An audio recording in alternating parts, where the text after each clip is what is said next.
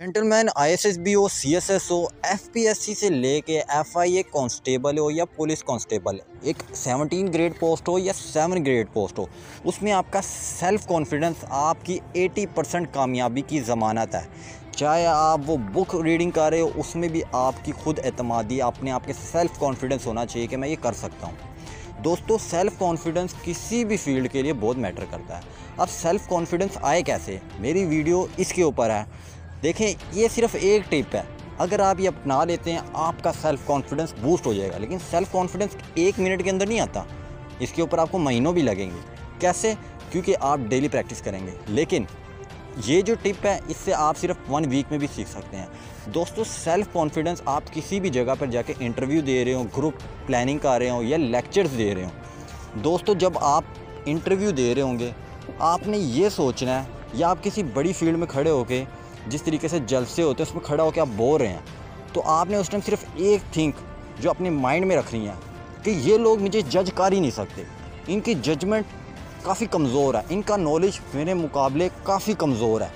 और मैं जो नॉलेज देने लगा हूँ, वही नॉलेज सबसे ऊपर है। आपने कुछ देर के लिए ये थिंकिंग ज़रूर रखनी है अपने जहन में।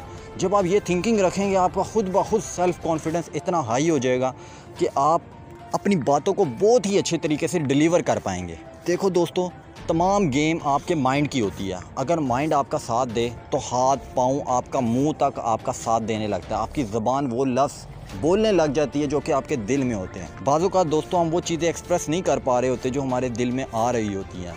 और वो चीज़ें ना एक्सप्रेस करने की वजह से हमारा सेल्फ़ कॉन्फिडेंस लो हो जाता है। लेकिन जब आप अपने दिमाग को ऐसा मैसेज देंगे तो आपका सेल्फ़ कॉन्फिडेंस ऑटोमेटिकली बूस्ट हो जाएगा।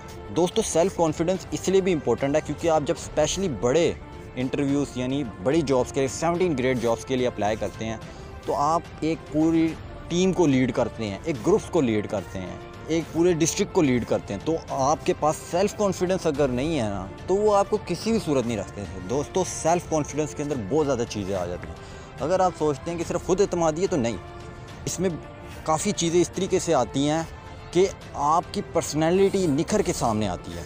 Army of a ship lead by line is better than the army of a line lead by ship तो आप जब लीड करने वाली पर्सनैलिटी है ना तो आपसे एक्सपेक्ट भी बहुत किया जा रहा होगा। जिसमें इंटेग्रिटी करेज कॉमरेडशिप रिस्पॉन्सिबिलिटी बहुत सारी चीज़ें तो आती हैं। लेकिन जब आप में सेल्फ़ कॉन्फिडेंस होगा तो आप स्पेशली जो इंटरव्यू होता है ना फाइव मिनट की जजमेंट का, आप उसको ईज़िली पास कर सकते हैं दोस्तों। सो दोस्तों टिप शिप कोई नहीं है। टिप यही है कि आप हार्ड वर्क की ज़रूरत है स्मार्ट वर्क की ज़रूरत है।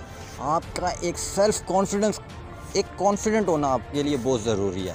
दोस्तों, अगर आपको इस वीडियो से कुछ भी सीखने को लिए मिला हो ना तो आपने कुछ नहीं करना। इस वीडियो को लाइक कर देना है और शेयर कर देना है ताकि ये वीडियो मज़ीद लोगों तक पहुँचे, उनका भी फ़ायदा हो। आपसे मिलते हैं नेक्स्ट वीडियो में। तब तक के लिए अल्लाह